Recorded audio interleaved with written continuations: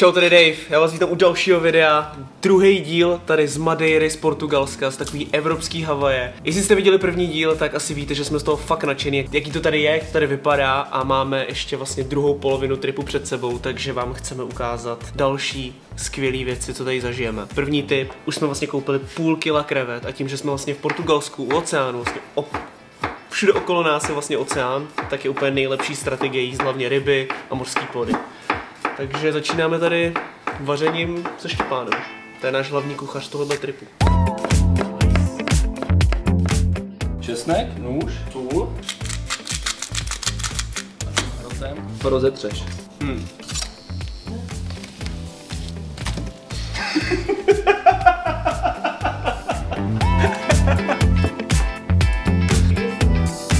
Nice! Další fun fact. Když nechceš mít zrníčka citronu ve svém jídle, tak si podpodej ruku. Funguje to. Akorát si umej předtím. Stejně tady nespadlo. Mezi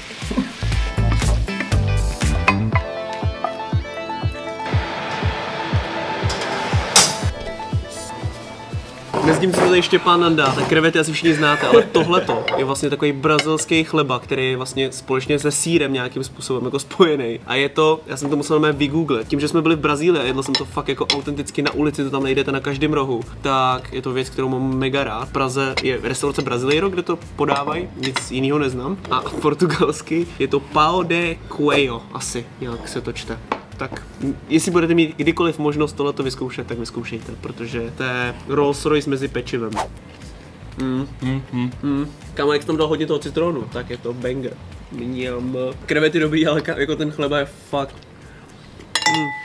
Hike číslo asi tak čtyři. Tady vlastně furt chodíte do kopce a po schodech. Jsme vysoko v horách, tady za mnou můžete vidět, že je mrak. Vím, že jsem to zmiňoval v tom prvním videu, Lucka může potvrdit, nešetřit na autě.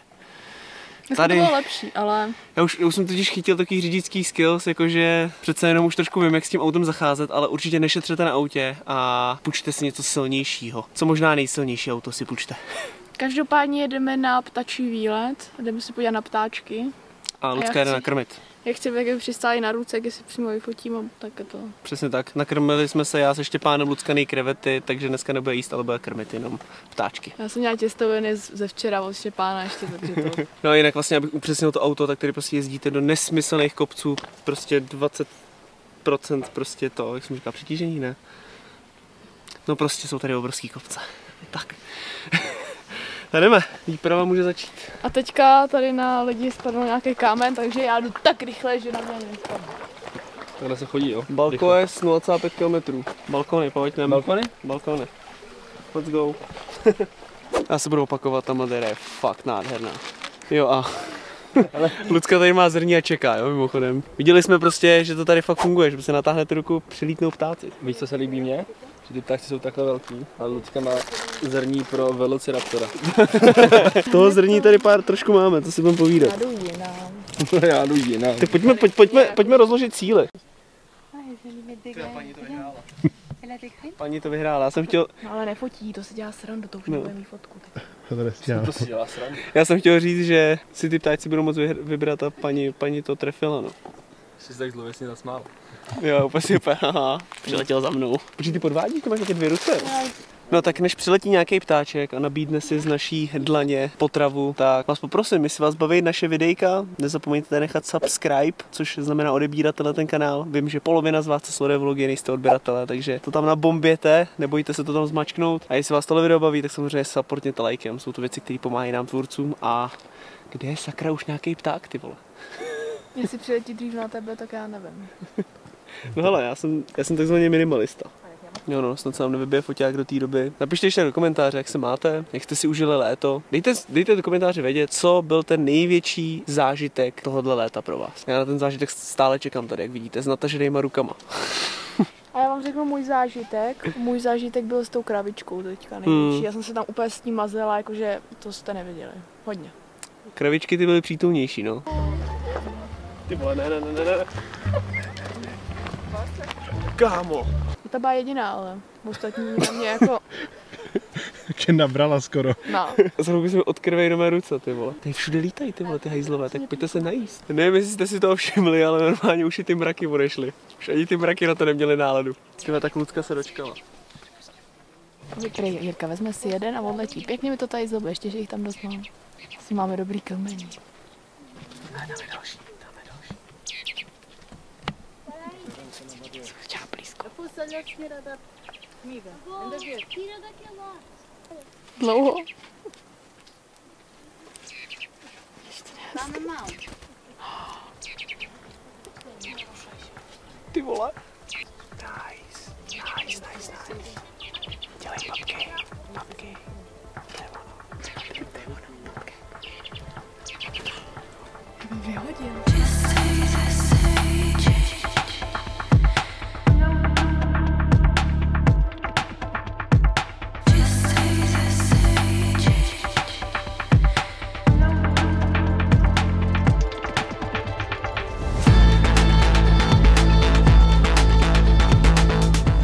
Jdeme na vodopád, ke kterému je trošičku náročnější přístup, ale většinou ty věci, které za to stojí, tak k nim je potřeba vynaložit nějaký úsilí.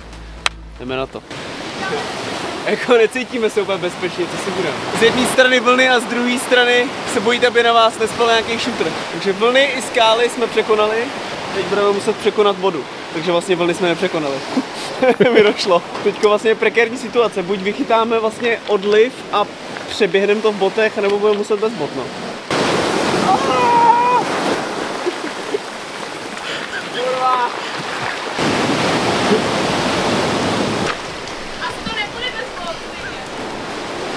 Pak jsem chtěl s botama, ale ne, ne, nejde to. Dneska první den, co nebudeme mít krásný západ slunce, což mi trošku mrzí, tady by to vypadalo normálně jak v nějakém Karibiku.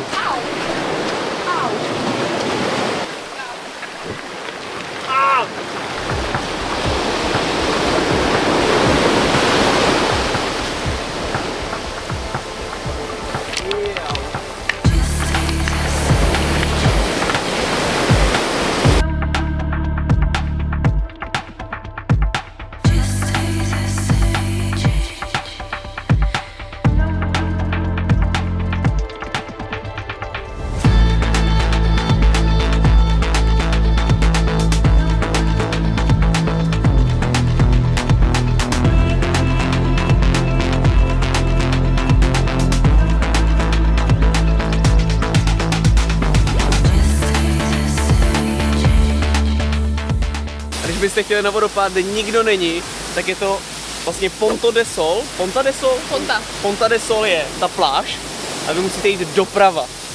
Ještě takový tip. Hned kousíček nad náma je vodopád, kde naopak jsou úplně všichni a je to vlastně vodopád, kde dopadá ta voda na silnici. My jsme si to dělali srandu, že je to taková myčka aut vlastně. Tam vlastně projíždí auta a je tam vodopád. Tak tam je hodně lidí, tady jak vidíte není nikdo. Ale nebezpečná cesta, no, takže je to trošku risk. Ale je to top, doporučuji. Je to pravda. Je to pravda.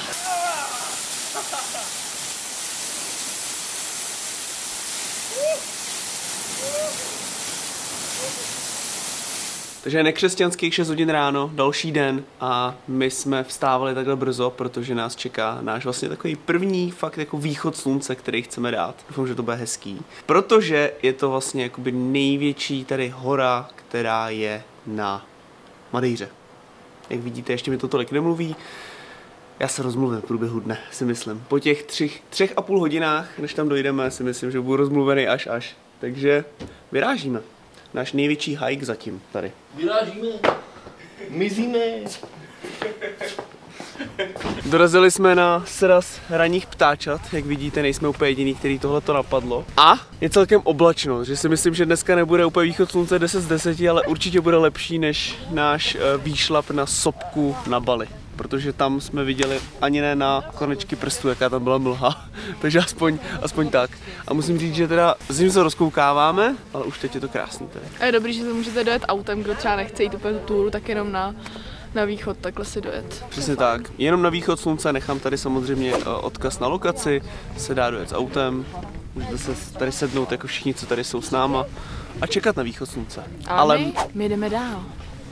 My jdeme dál, konkrétně jdeme vlastně na nejvyšší bod tady a ten je 7 km odsaď. Takže 7 km tam, 7 km zpátky, takže dneska se pravděpodobně dost nachodíme. Je to tamhle. A mně se tam nechce. Dobrý? Děkuji. Teď ten kamen tam si sednu? Ušli jsme 800 metrů prvních a musím říct, že je to že je to Jsi normální. že ta cesta je super. Nicméně, tamhle je troška naděje toho, že dneska ten východ slunce fakt vyjde. Vůbec jsem tomu nevěřil, ale počkáme tady a buď to vyjde nebo ne. Já tomu věřila. ten se dočká. Takže dali jsme normálně východ slunce i západ slunce najednou. Teď to slunce totiž zapadá za mrak jakoby nahoru. Takže kdybyste si to jako otočili, tak vlastně jsme dali východ i západ slunce v jednom.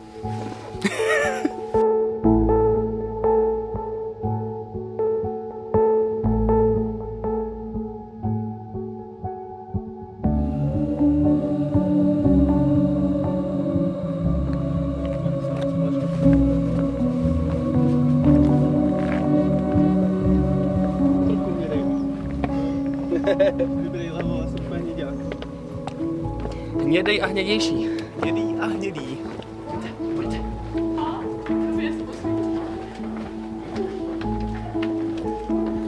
Se nám tu otevřela scénérie.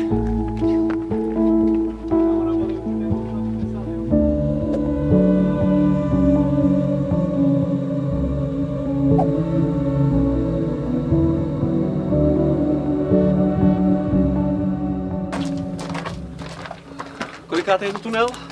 Třetí. A ne, celkově. My máme totiž tunel counter. Máme tunel counter, protože nejenom, že tady chodíme po tunelech, ale i když jezdíte autem, tak za den projedete několik desítek tunelů. Tím, že tady je všude samý kopec.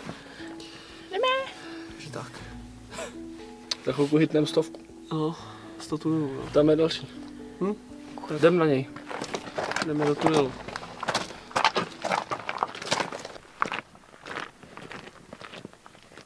Před bránou Rohanu. Ale tenhle ten díl pána prstenů jsem viděl, to je ten, jak tam jdou do toho Mordoru, jak jsou tam ty schody. Frodo Pitlík to tam dá. Nemáš takovou tu chálku, co tam měli v tom listě? Ne. Ne? Nemá. Ale já mám perník. Tady pár schodů pro tebe. Okay. Já mám perník. Začali jsme hike v bundě a teď už jsme bez trička. Byli jsme před chvilkou mega spocený a posledních 300 metrů jsme ani nemluvili. Šli jsme to dvě a půl hodiny, takže určitě pohodlný boty sebou, ale stojí to za to. Nádherný výhled na celou krajinu. A je úlet, že vlastně za těma horama vlastně ještě vidíte oceán. Je to fakt nádherný. Už naprosto chápu, proč tomu říkají Evropská Havaj. Hmm. Madeira je prostě the best. Jo a fun fact, má to 1854 metrů, mám pocit, a je to o 250 metrů víc než Sněžka, takže takový porovnání s ničím, co je v Čechách. A je to třetí největší hora v Portugalsku. Yes! jsme si otevřeli Google a přečetli jsme ty dvě, dvě první věty. hm? Aktuálně největší věc na Madejře je Štěpán. Klasicky. Klasicky. Jsem nejvyšší věc na Madejře. Po cestě zpátky jsme vlastně už konečně došli do momentu, kdy ty mraky nějakým způsobem stouply tak, že to vypadá naprosto úžasně. Prostě poklice z mraků. Viděli jsme na TikToku totiž takový jako záběry toho, že šli lidi po cestě a ty mraky byly prostě úplně těsně pod nima, což se nám teda dneska nepovedlo, ale i tak, tohle. i tak je to top. Pohádkový to je. Funčal. Láska jsme ve Funčálu. Nic tam nemají v mangu? Nic tam nemá. Šli jsme do města, Funčal, a šli jsme se pořádně najíst, protože potom hajku jsme úplně vyřízený, dali jsme burgery a tak. A teďko jdeme na tu nejlepší věc, kterou jsem zmiňoval v předchozím vlogu, a to je pastel de nata. Tady dělají domácí, to jsme ještě neměli. Je to je podnik, který se specializuje jenom na tenhle druh dezertu. A ve vitrínkách, která nic nemají, tak doufám, že to přinese paní pěkně čerství. Can I get one package? Mňam. Mňam. Thank you. Thank you, yeah. Thank you so much. A jestli budou strašně dobrý, tak si vezmu ještě sebou na ubytko. No jaký Tyhle jsou teplý. Což ještě horký, no, ona to, ona to vzala, ona to vzala ze zádu, že? Fornety jdou srát. Tak co bude to nejlepší, co jsme měli zatím? Mňam. Já vrát, že ten puding je pořádně tekutej. To je bomba. Ale jak to tady s náma dávají. Paláci.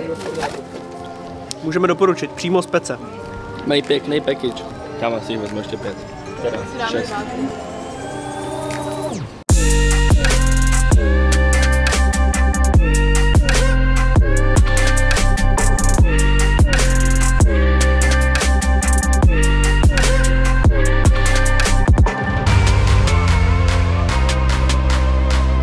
Dneska je to vlastně poprvé, co jsme vlezli do oceánu. Byli jsme jenom na vlastně severu v takovém tom bazénku oceánovským, ale vyloženě v oceánu jsme ještě nebyli a dneska při západu slunce totální epic.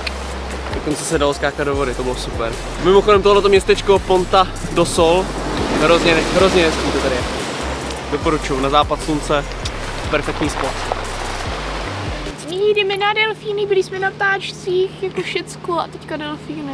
A ještě, vel, eh, a ještě velryby vlastně. Jdeme na, co se říct na moře, jdeme do oceánu hledat delfíny a velryby. A jdem takovým tím menším člunem, takže jsem zvědavá, jaký to bude, jestli nám nebude špatně s Jirkou tady, takže... Už takže mají tak. kinedril v sobě, já jsem to hecl bez, tak uvidíme no. Buď budeme hodně zklamaný a nic neuvidíme, anebo naopak jsme viděli záběry, že prostě jedete na člunu a okolo vás všude lítají delfíni, takže... A nebo i zastaví a můžete se s nimi koupat, takže máme plavky pro jistotu a určitě se budeme potápět s nimi, vyjde nám to. Když jsme vyplouvali, tak normálně pršelo a já jsem celou dobu na té lodi říkal, že prostě chci sluníčko, manifestace zlá, vysvětlo. Teď už jenom ty delfíni, to nejzásadnější. to je fouká. Jako jsou nesmyslný vlny, nesmyslný, jsme měli místo toho jít spíš surfovat, což máme v plánu odpoledne. Ale fouká a jsou obří vlny, takže začínám být trošku skeptický, jestli dneska něco uvidíme. No. A zatím jsme viděli racky jenom a lítající ryby. Lítající ryby. Lítající ryby. Lítající ryby. Nakonec se nám povedlo vidět jak velryby, tak i delfíny. A to jsme tomu fakt nevěřili, protože byly vlny neuvěřitelný. Dokonce ani nevěděli, jestli nás pustí do vody. Nakonec nás teda pustili. Točili jsme to jenom na telefon, protože všude prostě na tu loď cákala voda a nemohli jsme ani vytáhnout foťák. Takže doufám, že jsme něco zachytili.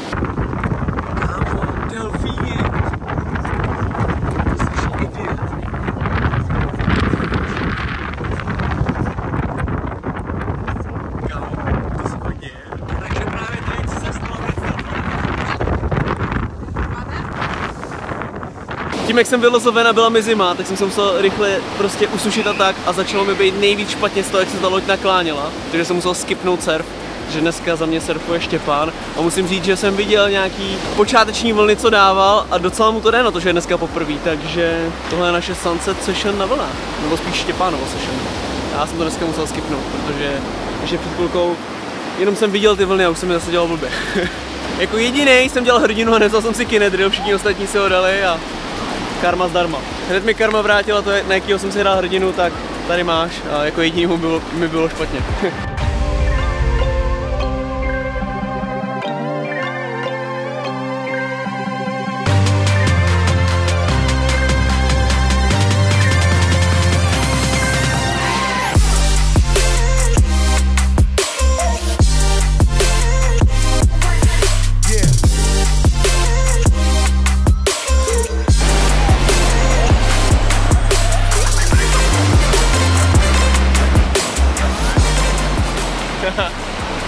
jsem vyfotil první fotku na Polaroid.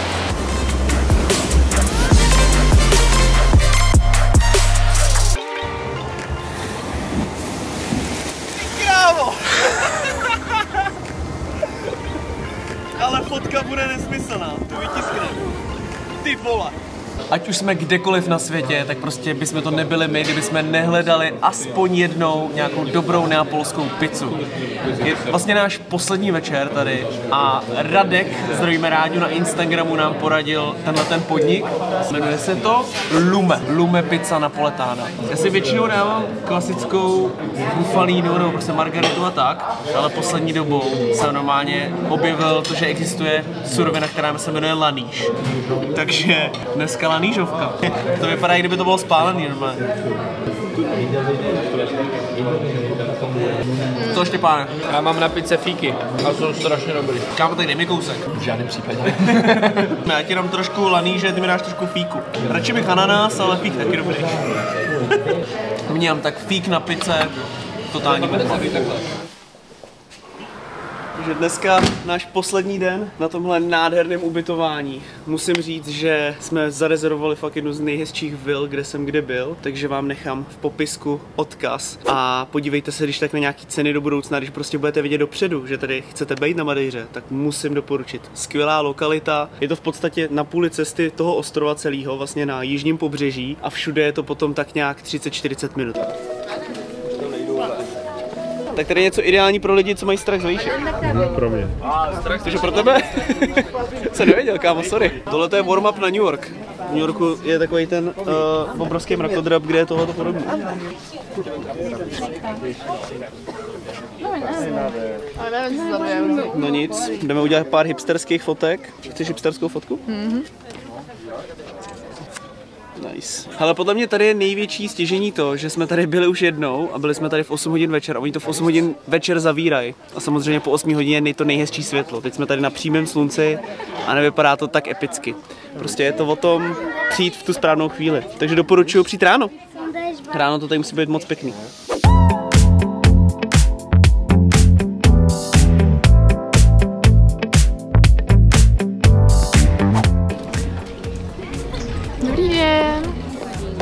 Je tady hezký. A já chci domů. Já chci domů. Co se mi na Madejře fakt líbilo, tak že to není taková ta klasická turistická destinace, kde byste čekali obrovské fronty, anebo prostě stáli v koloně. Tady vlastně kamkoliv jsme přišli, tak nebylo moc lidí ani. Tady to je trošičku výjimka, teda musím říct, tady je lidí fakt hodně. A je to teda klif, který má dohromady od moře 580 metrů. Ideální pro někoho, kdo má strach z výšek, jak už jsem říkal.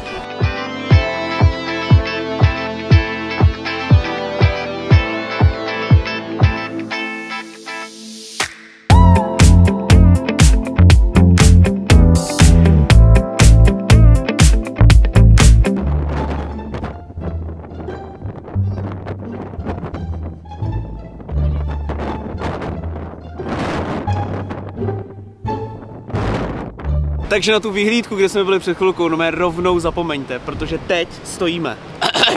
Mira Douro da Ponta do Rosto. A vyhlídka, která je zadarmo, nikdo tady není a ten výhled, to je pán prstenů díl, který jsme tady vymysleli za celou dobu my. a my se tady s váma i rozloučíme. Tohle byl vlastně náš trip na Madeiru a tady se můžete podívat na předchozí díl. Musím vám všem říct, že to za nás všechny doufám, můžeme fakt doporučit, je to tak? Je to tak? Dejte like, komentář, odběr. Lucka to řekla za mě dneska, je to tak? Mějte se nejlíp a vidíme se zase v Praze, kde aktuálně prší.